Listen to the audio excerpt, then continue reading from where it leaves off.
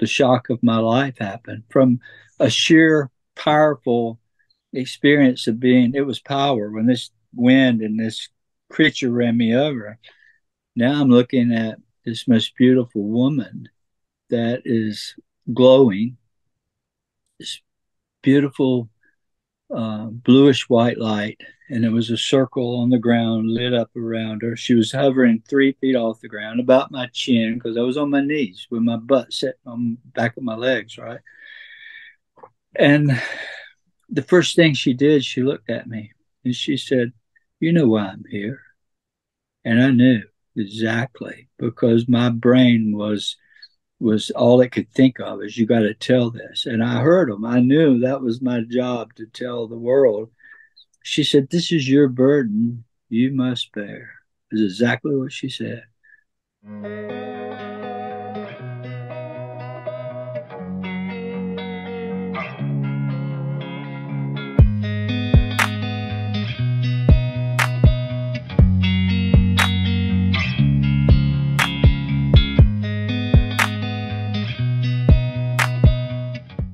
What's up, guys? Welcome back to another episode of Your Superior Self. Today, I have the amazing Chris Bledsoe joining the show. Chris, thank you for taking the time, my man. Trey, I appreciate you having me. It's my pleasure. I read your book, UFO of God. Never thought I'd read a book with the title UFO of God in it, right? Like, um, not a big UFO guy, but I read that title and I immediately had to pick it up and I'm glad I did because your story is just so attracting to me, right? Like this Southern guy that explores um, phenomena, right? Or a phenomena comes to him. And I mean, there's a lot of suffering too in this book. There's no shortage of suffering in this book. Um, before we get started, right? Let's give some people some context, right? Um, on your Instagram account, you have video footage of orbs that come to you basically every night, right? And you film it and you put it out on on your Instagram handle. Um, what is an orb, first off? Well, um, I really don't know. I have my ideas, right? And uh, the first thing I, I want to say is I don't want to influence anybody's beliefs or thoughts on this. I think if you read my book, I think you can grasp a good idea of it being pretty benevolent and whatever it is. Uh, honestly, uh, because in 2007, I was so sick and ready to give up on life after losing uh, 2007, after losing everything and having Crohn's disease for so many years. And it just all accumulated. I had a doctor poison me by accident. He overdosed on drugs and died. Nobody knew that this guy was taking drugs and he was treating patients. He put 113 in the hospital or more. I was 113. So um, I was I was at the end of my rope and I was crying out to the heavens. Who's ever up there? I don't know but please help me. And I never realized that uh, these big balls of fire would come. There were three giant, let's say 40 or 50 feet around, uh, big as a house, you know, a two story house, glowing about 300 yards away. And one came and took me for four hours. And they came because I was reaching out, praying and suffering you know, crying out to God, help me. I don't like what I'm thinking. I was thinking suicide and everything else. And with four children and my wife, I love more than anything. I, I just couldn't go there. So I was begging for help. And, and today, uh, and, and ever since, I just do the same thing. I go out and I say a prayer, and uh, here they come and it's gotten so much greater. I've been able to share it. Uh, there's a new History Channel series called Beyond Skinwalker.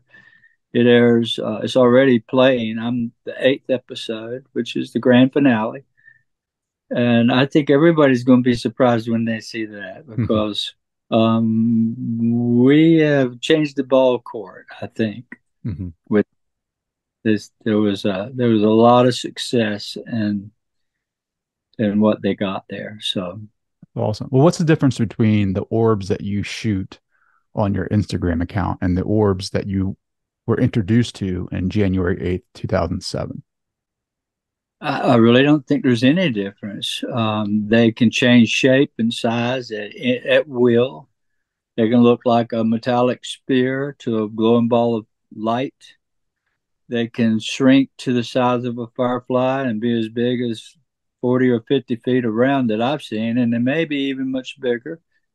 Um, but I, I, really don't know. Seven, almost 17 years. Come January, it'll be 17 years. I've been documenting this, and there's no shortage of government officials uh, that are uh, uh, are studying it with me, along with academics and uh, many others. And sometimes we have as many as 20, 30, 35 people here usually about 20 or 25 is, is an average group, but uh, it many hundreds and hundreds have been here mm-hmm. or I've been to their place. It doesn't matter where I go, it, it comes. Uh, sometimes I think one night on the History Channel, we filmed 35 orbs in one afternoon. 35. Wow. And they had the latest technology, artificial intelligence. They call it a UFODAP or ADAT which is um, it looks like a surveyor's uh, GPS thing on top of a tripod, and had two of them to be sure. And it scans the whole sky, and it's uh, connected to NORAD and NASA and the whole government system, the FAA, and it, it rules out any known object from a nut and bolt flying in space to to you know drones or satellites, and uh, we got them. We got them ground level. We got them in the forest. We got them in the air, right on top of the trees. And so, I, I don't know. I'm still trying to figure out who they are, but I have my thoughts about it. Can you talk a little bit about the story, right? Like the introduction to these orbs, um, because you talk about the beings that are associated with that, right? And I, I was just thinking about it this morning as I'm going out for a run in the morning. It's like the sun is starting to come up. It's kind of um, you know, it's it's dark, but it's not too dark, and there's deer everywhere, right? Like, and I'm running down this road, and this deer pops out, this big buck, and it like scares the crap out of me just for a minute, right? I can only imagine, like you, your story was takes place out in the woods, right? That that night that you hit rock bottom and you're taking a walk. I can only imagine the fear that you felt when you saw these beings, right? Like they're not deer, they're beings. They're they're beings that you describe so well in the book. Can you talk about that experience? Yeah. Um, when uh, speaking of not the orbs, but the beings himself, um, that was the same night, January 8th of 07. Um, I honestly, you know, was the shock of my life, crying out for help, and this comes. These beings with red eyes and glowing little creatures. They're about well, they look humanoid. They look like little children, four foot tall, three and a half, maybe, uh, with a triangle on his chest and these red glowing eyes. Um, I thought I was dead. I thought they were going to hurt me. I just, uh, uh, it was a total surprise that um, I turned around. I, I, was, it's in the book, more detail about me being in my, well, after the river incident my son and I came home, and that's when they followed us home. The dogs were all upset in the backyard, barking at something. So I went out there, and my Chesapeake Bay Retriever, 110 pound female dog, took off in the woods after whatever was in there. So I ran around this head of woods uh, living out in the country, you know, with my next to my mom and dad. I, I, went around this head of woods to cut off whatever was in there. I was thinking animal, bear or something, the way they were acting. My dad had 15 hound dogs that he hunts with. So I was no, uh, uh, uh you know, it wasn't new to me growing up with a gun in the woods, hunting deer and bear and everything else. So it was just one of those things uh, that I thought we were going to see something come through this head of woods. And I ran around, and um, here comes the dog. I cut her off. I got there, and she was still coming. Small head of woods. very thick. And um, I turned around to look behind me to see if my son was there because he was following me out there. But he had had enough and went inside and locked the door. And uh, when I turned around, they were three feet from me, three and a half, four feet. I could have reached over and touched it. it was just little being, and my heart sank. I knew I was in trouble. I just thought, "Oh my God, this thing's going to kill me." Uh, so I, I just kind of squared myself towards it. You know, I, I was le- leaning against a tree. You get more details in the book, but when I turned to face it, I lowered my arms and I said, "I surrender." And it said um, in this loud voice, "You don't understand. We're not here to hurt you. We're here to help you." And that's when um, the dog came on through and ran it away. It just disappeared. And next day, I didn't feel symptoms that I'd felt for almost 18 years of, uh, you know, sickness in the bathroom 20 times a day. That was my life with Crohn's. And after that point, I never took another pill. I can eat anything I want, drink anything I want. And for imagine drinking water for 18 years, you couldn't drink soda, you couldn't eat fried food everything baked, and then you were sick. I mean, it was an awful thing to live with. Uh, get up to go to work and back at the house five minutes later in the bathroom. And so, um, tell me what it is. You know, I'm still trying to figure. All I can do is tell the story and let people figure it on their own. Get glean what it is that's happening. But uh, if you ask me, you know, I'm thinking biblical angels from the Bible. That's kind of my thought because they come in prayer. And, uh, but who knows? We'll see. We're still studying it. What? Well, you see the orbs pretty frequently, right? Like, how often do you see the beings? Beings are the orbs. They come out of the orbs. I have video of an orb approaching me with two ladies, one on each side, and the one on my left hand side is very sick with stage four cancer, lung cancer. She's in the book. And um, we're standing out near this famous tree that caught fire on my property. And uh, all that's in the book. Um, a lot of call a lot of people call it the burning bush, right? So she's standing next to me, and there's a whole group of us there, and they were all seeing orbs appearing around us. You know, flash this big. They get big as a beach ball, and then they shrink to nothing, disappear quickly. And um, suddenly, an orb appears, and we're filming.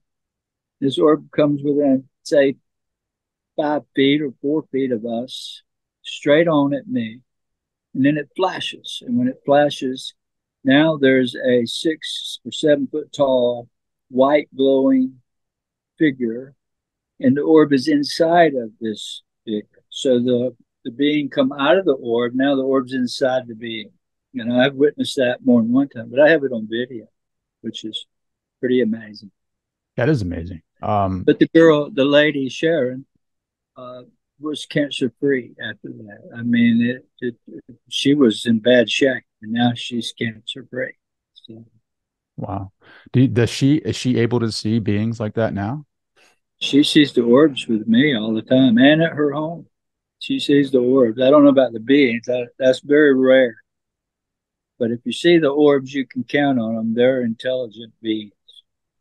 What's their message, right? When they come, like they they help heal, right? They've helped heal heal you of um, your physical ailments. Like, has there has there been a, a uniform message that they're helping people to understand? You know, they're very vague on what they say, but what they do, um, they do tell me is that there is a shift in the powers above. We're going into a new age, the age of the divine feminine and that peace is going to come and they're going to wake up the people. They're going to make themselves known, whether we like it or not. And um, they asked me if I would just tell what I know. Well, I don't know anything really. You know, all I can tell you is here is how it comes. Here it is. You want to come see it? Um, I wish I had enough days to allow everybody to come, but you know, right now it's scientists mostly and academics and um, many others come, and we're studying all we can to figure out what it is. But there again, it, to me, it answers prayer, hmm. and like I've always prayed, and I'm not a religious person. I was. I grew up in a Baptist church, and I married a Pentecostal holiness girl, which we've been married 40 years and raised four beautiful children against a lot of odds. I mean, ostracized by the church, uh, everything you can imagine, and uh, but we've managed to to stay together and happy. But I lost that religious thing. I become more spiritual and knowing. Uh, this new, it's not faith for me anymore. There's something there. Something created us. And I think they may be it. I don't know. It's all a new frontier. Sure. We're like, like babies climbing Mount Everest with just a diaper on, right? No. how far we got to go. Well, what kept you going, right? Like to your point, you were ostracized by society, the church, some of your family. Um, no one else was seeing these phenomena but you, maybe some of your other family members. But what kept you going? Well, the fact that I walk outside and here they come, and they, uh, you know, once you experience something like this, there is no going back. You can run and hide from it, and it'll leave you alone most likely. But um, it took me and it washed me very good, like scrubbed me in a way that that uh, it affected me so greatly that I could never stop. I'll be documenting to the day I die. I can promise you. In fact, I have plans to go to the desert southwest to Utah, Arizona, and that area, and uh, maybe Nevada. I have a suspicion Utah is a big big deal for some reason. It's in my book. I talk about it, my experience with this beautiful lady. So I think she's going to allow me to film her, or at least something much greater that everybody's going to say, "Oh my God!" That's awesome. Yeah, you, hmm. to your point about the lady in the book. I mean, you're at your breaking point, basically yelling to the sky, to the heavens, that you're you've had enough, right? Like no one else is experiencing this phenomena you're being ostracized your your children are feeling the effects of that d- directly in the relationships at school and the community and you just are fed up and you start yelling to the sky that I'm done with you I'm done with this mission whatever this is and then that evening you have an experience can you speak to that yeah um, 5 years had gone past since it all uh, happened. And I was so eager to tell the world, you know, I'm not sick anymore. I had this experience. There were four other people, my son and three grown men with me. They all saw it. They all hunted for me. And um, it, it, just, it, it changed me um, in such a great way. I'm, I'm sorry I got sidetracked there. No, you're good. Well, the, the lady, right? The, the, the first yeah, night the you met the lady. Yeah. Okay. So it was, um, it was April, I think. Uh, well, it was Easter, Saturday night before Easter in 2012. After five years of my kids being put to the test, uh, at school. They go to school because they did a documentary. Discovery did. MUFON, this organization, they did a hack job on us, and um, it it caused the worst trauma for my family. What they did to us. You know, I'm being honest telling this, and they're trying to cover it up, and they tried. They've screwed up.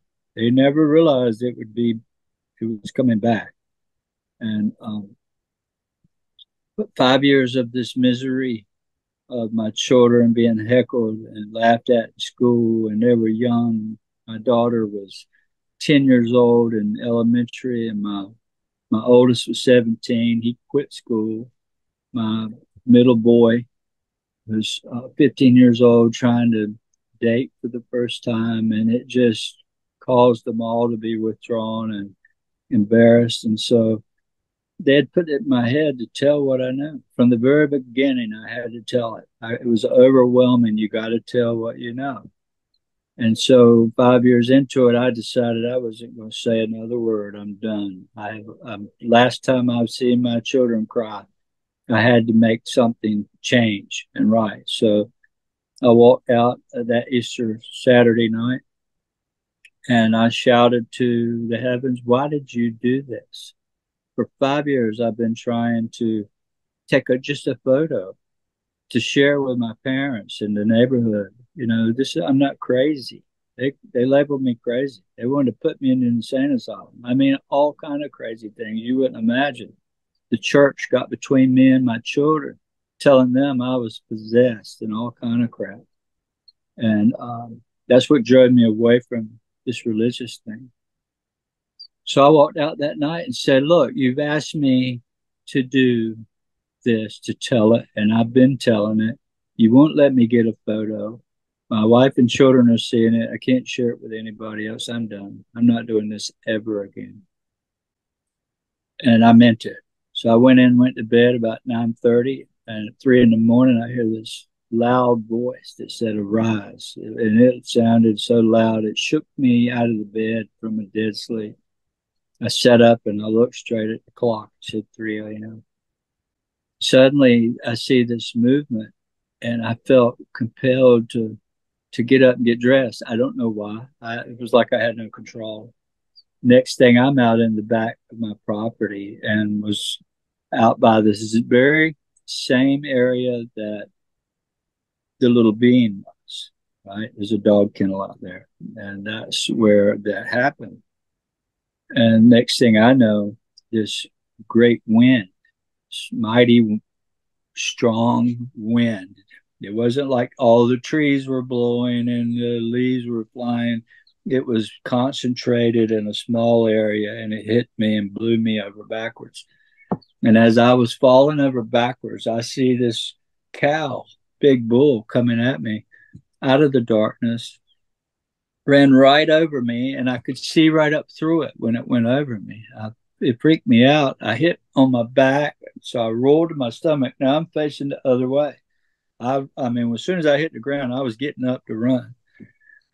I didn't get to my knees good when the shock of my life happened from a sheer powerful experience of being, it was power when this wind and this creature ran me over now I'm looking at this most beautiful woman that is glowing, this beautiful uh, bluish white light, and there was a circle on the ground lit up around her. She was hovering three feet off the ground, about my chin, because I was on my knees with my butt set on back of my legs, right? And the first thing she did, she looked at me and she said, You know why I'm here. And I knew exactly because my brain was was all it could think of is you got to tell this. And i heard them i knew that was my job to tell the world. She said this is your burden. You must bear. Is exactly what she said. And she said if you will continue to do what you've been told to do we'll help you we'll help you with witness we'll help you with your camera and so on and so that renewed me into uh, this new strength. But I was afraid to tell anybody because they already wanted to lock me up, right? They already thought I was crazy. So if I come out telling this, no telling, they may send no telling after me. This is what I was thinking. So I had a big decision to make. And, and it didn't take me much thinking to realize I had to do this. So uh, I told it two weeks after it happened. And that immediately brought in people from the Vatican to research from the CIA, from all parts of the government, and many other places. And uh, they're all interested in this lady and who she is. She's been seen throughout history. I gave too many details I had no clue about that clued them in on uh, like f- the Fatima thing, right? Same thing. When they saw the Fatima, everybody saw what they thought was a setting sun come down out of the sky. When I was on the river that night, when they took me, I described three setting suns. That's what they look like. Huge. They come out of the sky and they were burning balls of fire. So there was a lot more. The cow. I mean, what a weird thing, but she um, she renewed my strength, and from that day on, I began to document with photo and video and witness. And let's just say this: in the last 24 months, I um, I can't show you because I'm using my cell phone, but I have a SiOnyx camera. It was two of them given to me uh, two years ago, and more. Um, there's probably 2,500 videos that I've taken in the last 24 months. So, and that, there's probably 15,000 on my phone between photos and videos that I've accumulated in the last 16 and a half years. So, um, well, actually, since 2012, not 16 and a half, but mm-hmm. since 2012 is when I was able to start recording this stuff. And and now I'm sharing it with others, sharing it with government officials. I was able to share it with the History Channel, and you're talking a major deal because the phenomenon does not allow you to film it. It is smarter than we ever can imagine. It knows every thought. It knows what you're going to do before you do it, where you're going to look, what direction you're going to look before you look. It's that powerful. And so, for it to, to allow me to bring the History Channel here or some film company and film hundreds of orbs uh, is nothing short of disclosure is on its way. I can tell you, hmm. we're just beginning. What does the the lady look like? She was hard to say what she looks like, but she was beautiful. She was um, not very big, not very tall, probably four to four and a half feet. Mm-hmm. I most she looked because she was elevated off the ground, she looked taller than she really was, but I'd say probably four feet or a little more. She had this translucent um, golden hair. It wasn't really translucent, it was just this strange goldish, not blonde, but golden colored hair, blue eyes. She was wearing a white dress that looked almost Roman. It was had rolls in it that went to the top of her feet and out to here and with a collar. It was like no flesh showing except her feet and her hands and her face.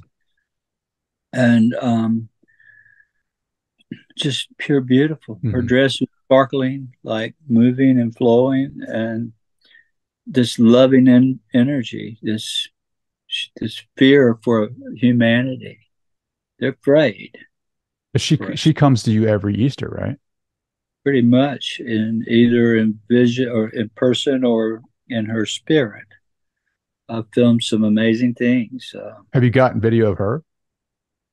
Uh, not really of her, other than her this fire that only shows up like it does at Easter time this year.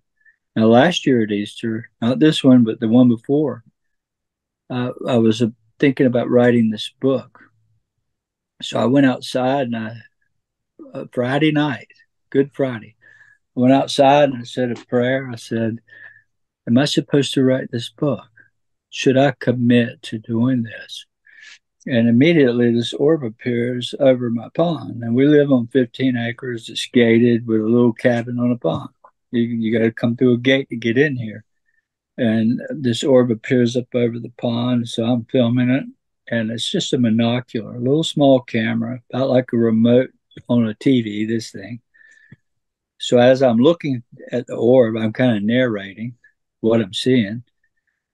And up above, way up there, I see something coming and it's glowing this reddish, beautiful reddish orange color and it gets lower and lower. So I take the camera off the orb, I move it over to this, and I'm like, oh my God, what is that? You can hear me say that on the video. It's changing. This beautiful red and orange, tangerine orange colors are flowing through it. And suddenly I see these big wings stretch out.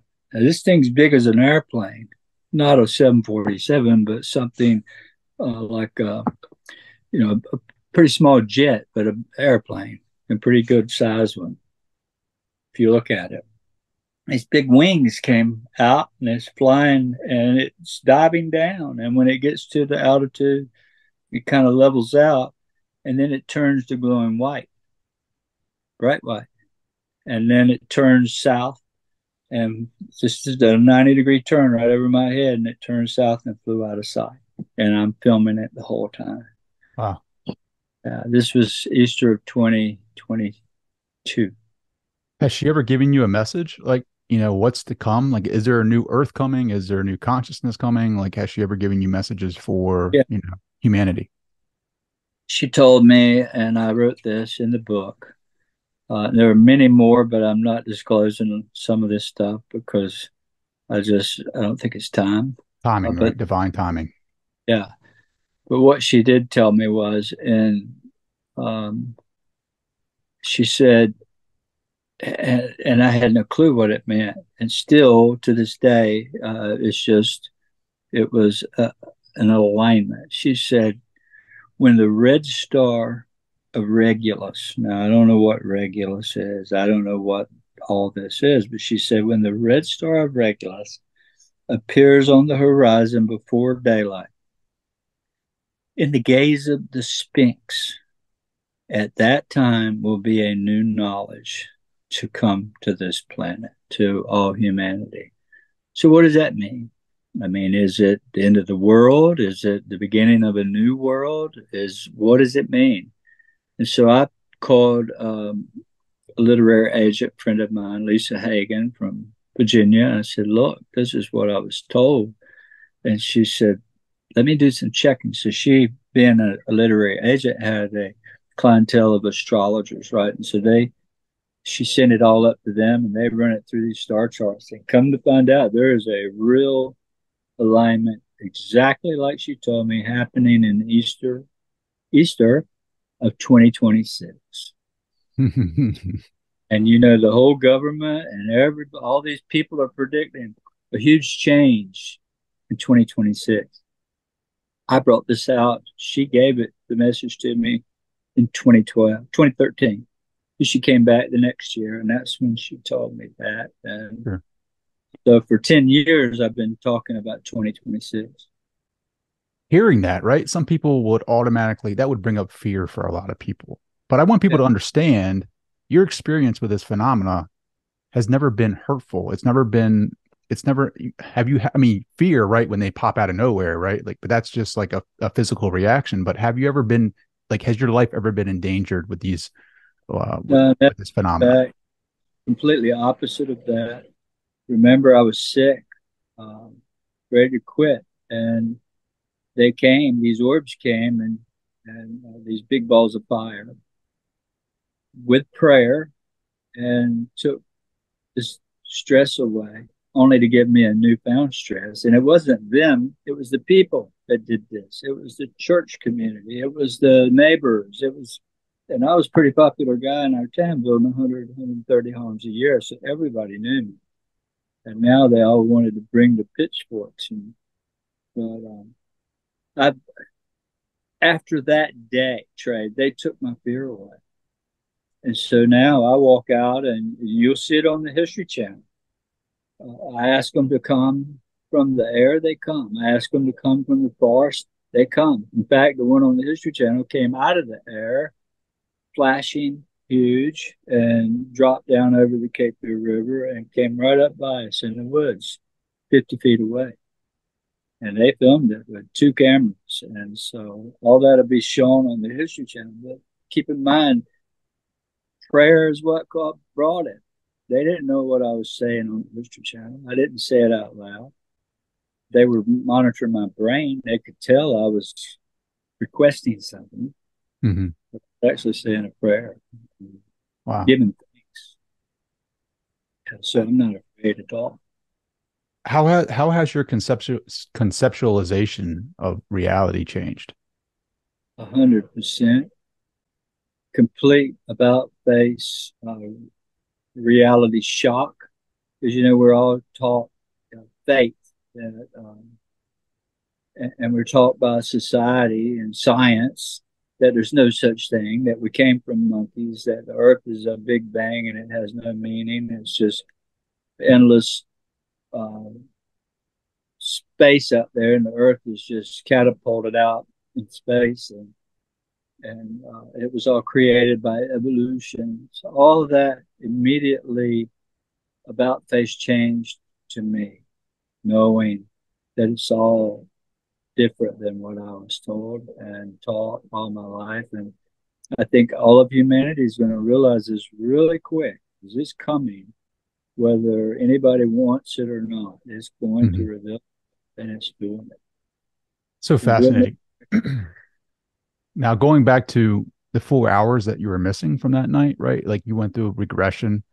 Um, I'm assuming hypnotherapy session or something like similar to regression therapy and you were able to recall some of those aspects from that night and you remembered going up i guess the orb took you right and flying over egypt what was the significance of that i don't know but it's mighty funny that uh, six years later the lady gives me a complete memory of or, or recount of seeing egypt from above then she says here's a clue when the red star of Regulus is in the gaze of the Sphinx. So, and also they they showed me like Hathor's temple. They showed me the significance of the deities in Egypt being animals. You know, they TB wants to make it alien gods. You know, they're ancient aliens. They came from some. There's no evidence of that. In fact, quite the contrary. Everything you see in Egypt are uh, crocodiles and jackals, and Horus was a hawk, right? So in Ezekiel, when he had these uh, the wheel within the wheel, there were two of them came down and landed, and he went between them, and out steps this creature. Had four faces. Had a man, uh, eagle, an ox, and a lion. So one being had four parts of of nature, three parts of nature plus humans. So what does this mean? What are they showing us? What is that uh, supposed to mean? I think all life is sacred, and that this this spirit world will communicate with us through animals, like owls, like hawks and deer. That deer that crossed your path has a real significant meaning. So go on line and look up you know, when a a deer or a buck crosses your path, see what it tells you. See does it have a meaning? Because there there's a lot of lot of that um, that I look at daily when this stuff happens. So sure. it, it really is connected. You had two near death experiences in the book too, right? And you and I've heard you previously talk about that, how you were taken or you were out of your body and you felt like you were in a space similar to that night when they took you in that orb. Can you hit on that a little bit? Yeah, exactly the same. Um, when I was 10 years old, I was, uh, remember, I grew up on in the woods on a, in a little mobile home next to my grandparents that owned a farm. Uh, he did, uh, we grew tobacco. We, I mean, I worked farming. My neighbor had a dairy farm. So, um, for forever. Um, I'm getting sidetracked here again. You're good, buddy. You're good. Just talking about the near death experience and the orb. Yeah. Um, because of chemotherapy, I've been on chemo. Uh, I'm off of it now, but for six and a half years, and it messes with my short-term memory when I'm thinking. Um, so it's all good, brother. It's all it's all good. I'm just glad so, you're here, man. I'm just glad you're here. Yeah. when I was 10 years old, I was hunting. Um, myself, my cousin, and my neighbor, the dairy farmer. It was New Year's Day, 1971. Um, hunting season was over, so we had a hunting club. My dad was the president. He owned the dogs. It was a big crowd that all showed up for New Year's Day to work on the farm. We, we had over a thousand acres we managed.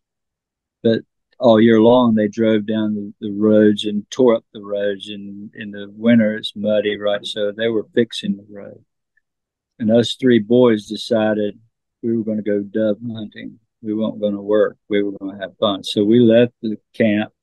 They were all out in the farm somewhere, you know, miles away, some of them. And um, this, we lined up on cornfield about a mile from the cabin, middle of nowhere. And I was in the middle. There was my neighbor on my right. We were 100 yards apart. My, my cousin was to my left. So I'm right, we're about 200 yards between us all. Bird comes down the field of dove. My neighbor shoots at it, doesn't hit it. It comes right over me. And when I shot, I winged it and it went, turned and went across the field and landed in the forest. I thought, you know, I'm going to go find it. So I took off. I stood up and I walked across about 100 yards of cornfield. When I got to the edge of the forest, my I had no clue. But my neighbor young boy, nine years old. He wanted to make claim over that bird. He didn't want me to outdo him, right? So I didn't know he was coming, but I got right up to the edge of the forest and I could see the bird underneath some briars and it was flopping around on the ground. I thought maybe I better put a shell in my gun. I had an old double barrel 16 gauge Stevens and um, I cracked the barrel open and you know, back then the, those old Stevens, the shells would pop out, and or at least fly. If they were empty, they would pop out, and they did. So I reached in my pocket and I grabbed two more shells, and I went putting them in the gun, and I dropped one. When I dropped it, I reached over to pick it up, and I didn't know that my neighbor had run up behind me within six or eight feet of me, and thought he was going to try to get this bird before I did right? It was he was claiming, and so when I've been over to pick this shell up, right when I stood up, he was going to fire over my back when I leaned over. I mean, whatever possessed him to do that, I have no idea. I guess it was meant to be. Um, I heard the gunshot. I felt it. It was like you hit me in the back with a sledgehammer. There was no pain. Drove me down face first in the leaves, and I'm bleeding bleeding bad. I got a hole this big in my shoulder right here, right in line with my heart. Um, I remember asking him, Did you shoot me? Why did you shoot me? There was no answer. It was all crying and it was all panic on their part. My cousin, he come running up when he heard it. So they were arguing over who was going to go get help. They had a mile to walk, right? And here I am dying, and I, they were fighting. They were actually fighting. I'm, he's my cousin. I'm staying with him. He's my neighbor. They're fighting like this, and I'm saying, please help me. And next thing I know, uh, the my neighbor's dad, farmer, dairy farmer, he heard them from that far away, almost a, a mile from the camp. And there was no traffic and all where you had noise. So sound carried a long ways back in the days and out where we were. And next thing I know, he comes down the field in his old farm truck, bottles and cans rattling in it, you know, that dirty old farm truck. He runs in the forest and throws me over his shoulder like a sack of potatoes and blood dripping. And he throws me in the front seat of that old truck, and drove me to the hospital. Some uh, 20 or 30 minutes away, 20 minutes probably. And next thing I know, I'm, they put me in surgery and the way they did it, you know, 50 years ago, they didn't have MRI machines. They didn't have all that. So they would do an x-ray to find the amount of lead. It was 350 pellets entered my back. And they would go and remove what they could see. They'd take me back in X-ray and find more, and they'd take me back in surgery, and they were removing these pellets. So the last time they thought they had it all, um, they took me back into X-ray, and that's when I came to. And I saw my mother on the ground, and I mean, she fell to the ground. She was looking at me through these windows. but what I remember is being in some kind of clear bubble, like uh, an aura, up above Earth, looking back down at everything. And there was no pain. There was no. Um, it was, it was totally silent.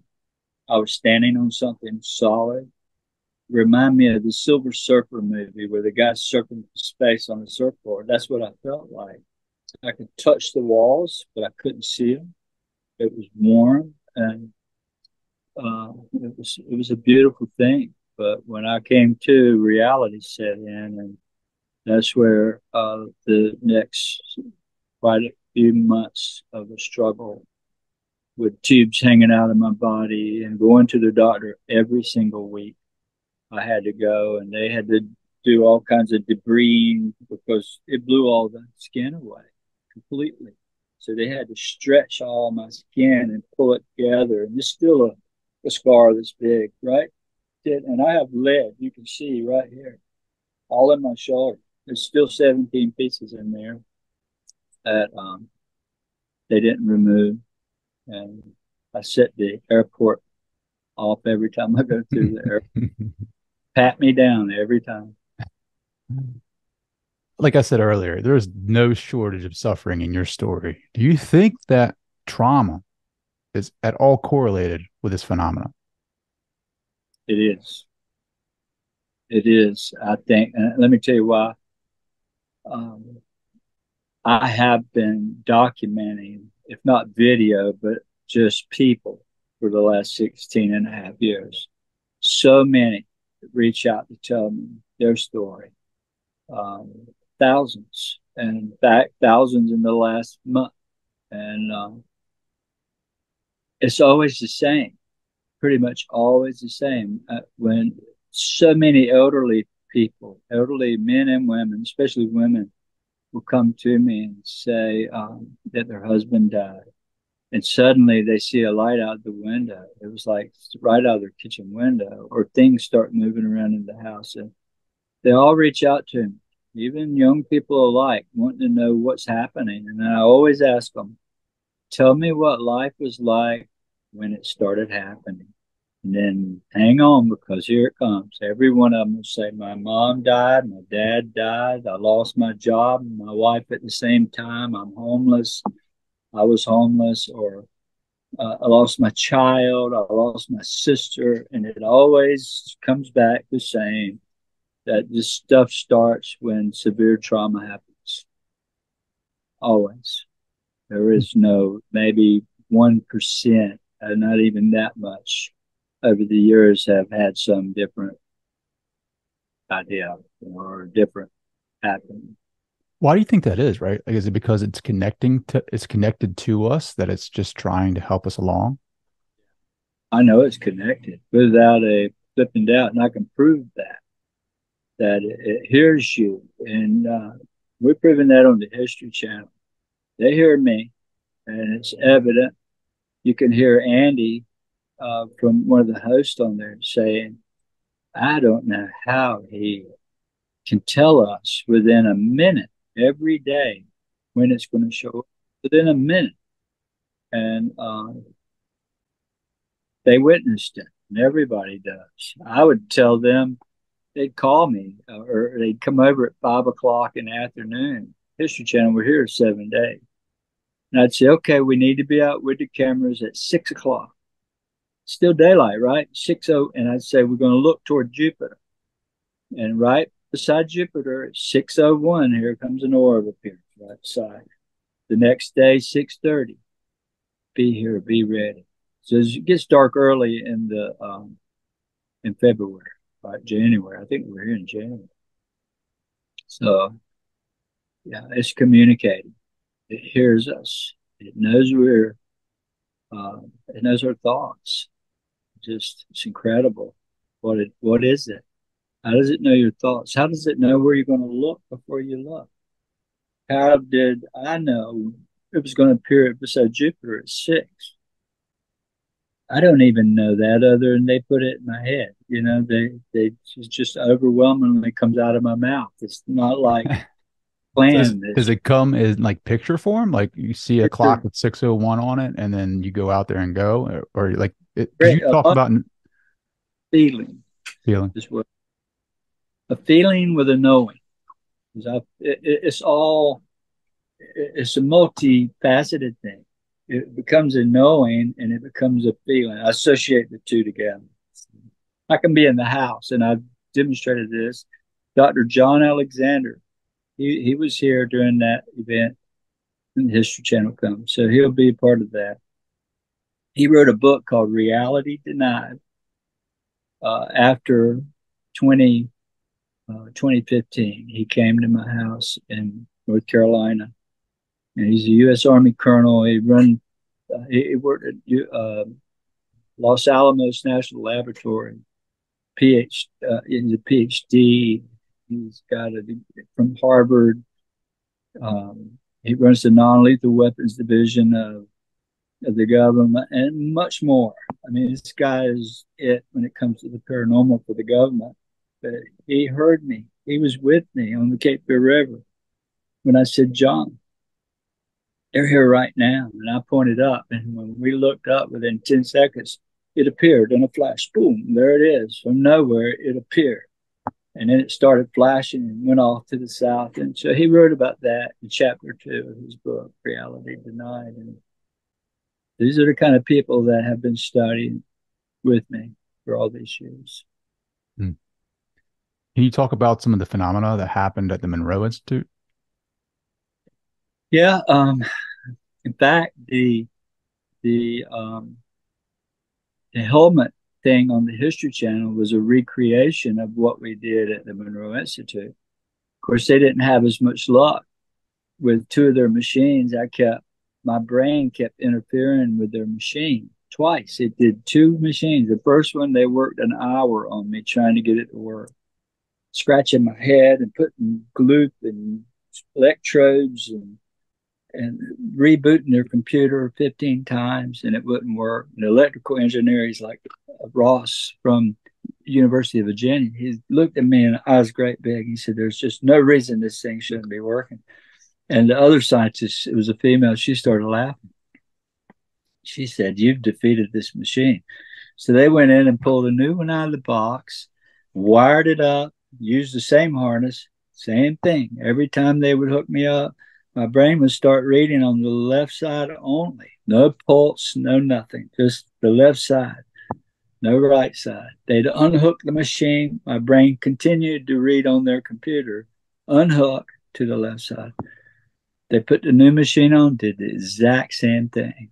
So finally, they went to their old shower cap that's made in the 50s, probably. And um, there's a 32 sensor machine where they could only read brainwaves. And but we'd go out every night and film the phenomenon, and we had a lot of orbs appear.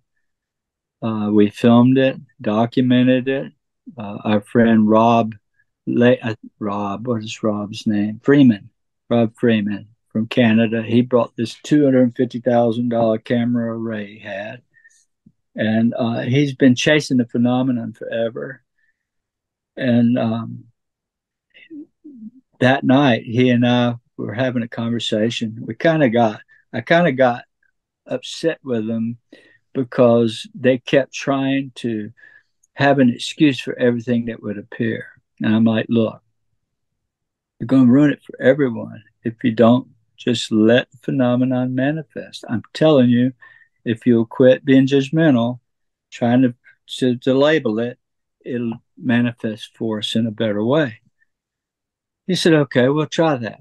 So, uh, along about the fourth night we were there, um, I guess it was 11 o'clock, he walks up to me. I'm sitting beside Colonel Alexander and my daughter and some other folks. And he, he walked up, he stood up, and he said, Chris, I want to apologize. Um, you taught me something. And when he did, I stood up and I reached out to hug him and I said, uh, I appreciate that, Rob. Um, thank you. And the minute I hugged him, flash, and you hear somebody in the group say, Flash, look at that. And suddenly we all look up and it's flashing, flashing, flashing. So Rob goes over to his camera, and it's this big, multifaceted thing on a pole tripod. He shoot, puts the camera on it, and for the next hour, a whole hour, we filmed that orb flashing. And what's amazing is it never moved. The whole star field moved, but the orb never moved out of position. So that was pretty amazing evidence that that is on YouTube. You can find it under Rob Freeman Monroe Institute. Hmm. I'm definitely going to do that. Um, yeah. There's another story you tell so great. Um, in the beginning, in the beginning of the book, you hook us with the story of an, an, attempted Pope assassination. Like, can you hit on that a little bit? Like the voices, like were they were they the beings coming out of the radio? Like, what was that? As the beings were coming out of the radio. Um, what it was is and this is a whole nother story that I wrote, but it didn't get published because the book got too long. There was a lot of stuff we never talked about. But there was a scientist there. Her name is Pam Ness. Pam uh, is a government research scientist, but works out of um, uh, Wake Forest University, right? So she comes, she calls me and wants to investigate this paranormal thing. She brings her assistant Ashley and we're out at this burning tree. A lot of paranormal stuff, orbs all around the tree. We'd always see them. You know, be in the house and look out into the orb around the tree floating, just going around it. Smoke going around and around the tree. You can see pictures of it on my Instagram. I mean, it would just wrap itself and it would fly away from the tree and fly by us. This kind of thing. Documented it well. So Pam has me standing there, and there's probably I don't know, 10 or 12 other guests that happened to be there. I'd invited them when Pam said, I'll come. We'll just enjoy the whole group. So she's got as she calls it a voice ghost box. I'd never seen stuff like this, but it makes this awful racket like uh, white noise and it's ticking kind of like that. She says it's sweeping millions of frequencies, right? And it, these ghosts can talk through it. Well, in a normal investigation, she explained she'd have like five or six recorders going everywhere, and they might get one electronic voice phenomena, one in a whole night of investigation. Well, we got 350. I mean, this thing was talking like rattle, rattle, rattle in sentences. And we all were standing there and we heard my friend uh, Foxy's son, the name Jason, come through. Well, he, he Foxy's from Pennsylvania. I met him through groups. You know, he was suffering because his son died. Well, it changed his life when he heard this. And uh, then the next thing we hear is this uh, voice that said, Danger, Pope, Chris, you must help him. I'm like, Well, we all heard that. That was pretty audible, you know, pretty crazy. By the way, she has all this recorded. And it just kept on talking about it. He's in danger. You must help him. So I called a friend up in Pennsylvania that knows everybody. Everybody. I mean, he's really connected. I'd met him in 2013. And uh, so uh, I said, Larry, you know, the Pope's coming to Philadelphia. He, just, he's in Washington and New York and is just, you know, in the wide open, no problems. But he's coming to Philadelphia and I'm hearing there's going to be a attempt on his life somehow. So right away, within a week, I'm up in Philadelphia and there's Colonel John Alexander. He was part of Project Stargate one of the creators of it. Uh, the Men Who Stare at Goats, George Clooney, that movie is after Colonel John Alexander. So that's when I first met him, and they wanted to do some remote viewing. And pretty soon I started getting these images of the Ben Franklin Bridge, and that um, they would be coming from that direction, maybe by boat up the I think it's the Delaware River. And so um, we ended up touring all over and found the boat ramp that I described perfectly, where it was and which side of the bridge it was on. And I told them in full view. And when they found that, it wasn't long the Secret Service and the CIA was involved. And so when the Pope came to Philadelphia, they shut the whole Ben Frank they shut the whole city down and made everybody walk across the Ben Franklin Bridge. If you're coming from New Jersey, you're not driving in, you're going to walk. And it, it, it, was a big deal. And they actually arrested a young guy, um, threatening, trying to to to threaten him.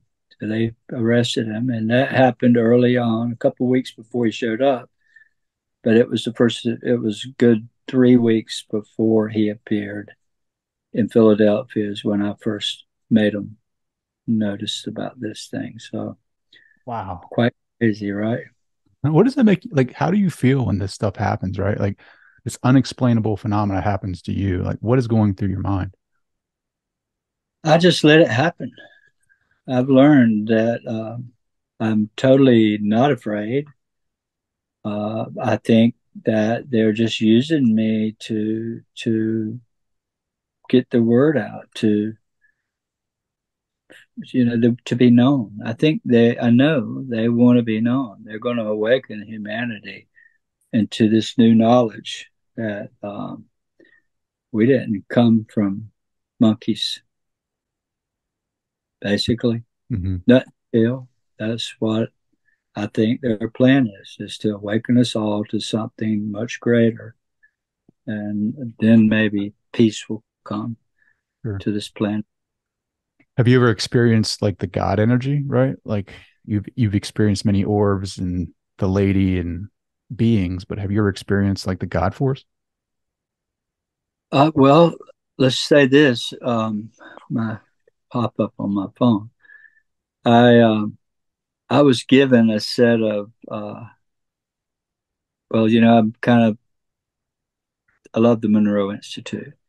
So I was given a headset, $200 JVC noise cancellation headset, and uh, uh, the Monroe tapes. I have quite a few of those, and some of them were custom made uh, for our Monroe retreat. They're, you know, you just couldn't buy them.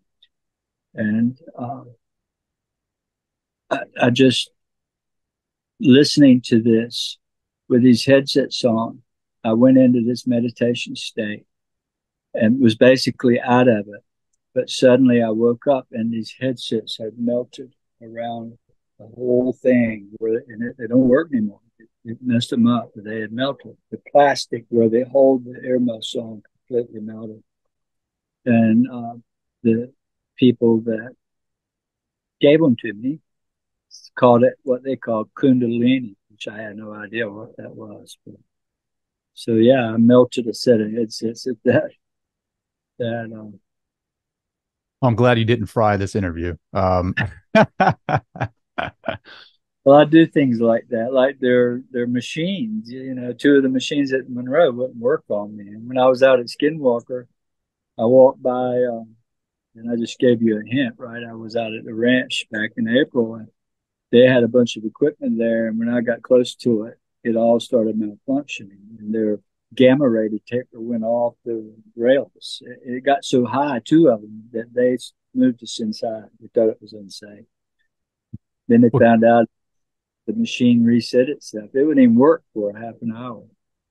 I got to ask this question before we end, though, um, because I want to respect your time how can people raise their frequencies or raise their vibrations to experience this phenomena for themselves? Be positive. I've learned uh, no matter, I had to create this shell around me from all the people throwing darts and accusing me of being everything from crazy to to in bed with the devil.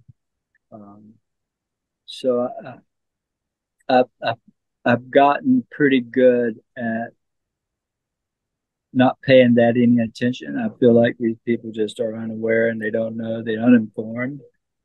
You know, it was hard for me to to be studying with NASA scientists and government, high level government people, and never could talk about it because it, I was asked not to. Now I can, but my own neighbors were calling me crazy, and I wanted to say, I wanted to grab them and say, "Look, here, if you only knew where I was this week." But I learned to take it. I learned to live in my own place and find my own happiness. Be positive. If the news bothers you, turn it off. If um, you know, don't watch all this scary stuff. It just it plants these negative things in your head, and you can't hardly get them out. So many people will wake up in the morning. First thing they do is turn the TV on, and there's war in Ukraine and suffering, and kids, you know, crying, and all day you got to carry that in your thoughts all day. Get it out of your thoughts. Only be positive. Be kind to everyone. Uh, it's not about you. It's not about me. It's about all of us. Uh, none of us are better than anybody else. So many people think they are. Um, but just find your happiness. Being positive is everything. And that's what, if I was negative and I watched all that, I would never see the phenomenon. It would flee from me. I'm telling you, I've seen it too much. People would come here, one person in the group, I find nothing's happening. Why? So I start listening to each person without them knowing. And I hear one over and they're negative. And then I've done this.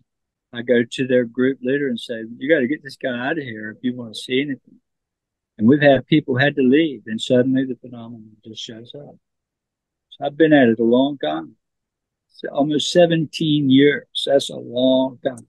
That's two PhDs, you might say.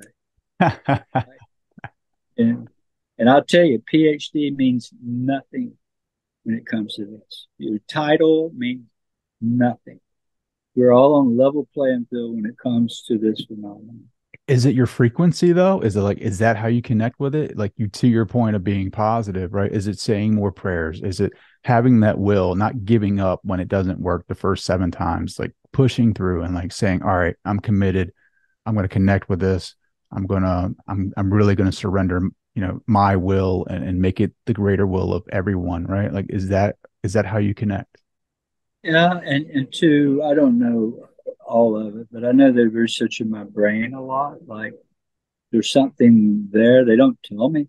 They won't tell me. And I think History Channel might reveal some of that, what they found. Uh, but I, I don't know. I don't understand it. I just know that it came in prayer in 2007 when I was at my lowest point. And so I just go out every night, and I was so happy to see it. it and it, I wanted to see it every night. So I go out and I'd say the same prayer. So just pray, and it, it keeps working. Well, Dr. Bledsoe, um, I think you've earned your PhD in this phenomena. Um, I think there's many that would agree with me. I just can't thank you enough for taking the time for, for sharing your story. For I just want to say, like reading your book and everything that you had to go through, like I am just amazed by your internal will that you you were able to draw from to keep pushing through this, the doubt, the uh, you know, being ostracized by society and your church and a lot of your family members, and and being uncomfortable in that, but still doing the work. I just want to say from the bottom of my heart, man, thank you so much for putting this out there. Appreciate it. I still am. I still have family members even that um, that are highly religious, right? And they're they're saying you're playing with the devil. It has never quit. I think we're going to all wake up to find a, a new knowledge that um, that uh, they won't expect. So I think you know the knowledge already. I think you know what it is. I think I do, but it's you know I I, don't want to influence others. Everybody to to re- you read the book. That'll help you. I'm gonna I'm gonna stop recording. You can influence me. I can tell you that. Um, Chris, man, how can people connect with you? You can. Uh, best way to find me is go to my website ufoofgod.com. There you can find my Amazon link to buy the book, or you can go straight to Amazon. But if you go to my website, uh, we're actually doing a drawing right now with some signed hardback copies from Jim Semivan. Wow. John Alexander and myself. So we're going to do these special. And um, you can find my social media there Instagram, Facebook. And on Instagram, I post some videos, not, you know, probably 50 or 60 videos there out of thousands. And there's some very good ones I haven't posted. But we're planning on sharing it all in time. Hmm. But I think you'll find it highly interesting. Chris, man, thank you so much for taking the time. This is this has meant the world to me, and I, again, I can't thank you enough. Appreciate you, Trey. I'm honored you had me on your show.